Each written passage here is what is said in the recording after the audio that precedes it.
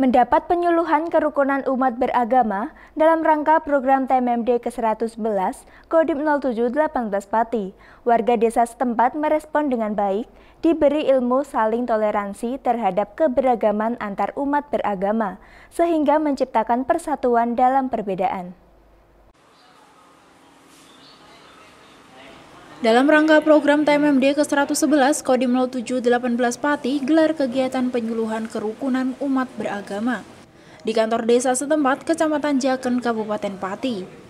Dalam kegiatan tersebut, Kapten Infanteri Jubaidi beri wawasan kepada warga desa setempat untuk saling menghormati dan toleransi terhadap keberagamaan, kepercayaan umat beragama yang ada. Mendapati penyuluhan tersebut, Darsi, warga desa Mojo Lampir, menanggapinya dengan baik. Dengan kegiatan tersebut akan tercipta persatuan dan kesatuan yang terjaga.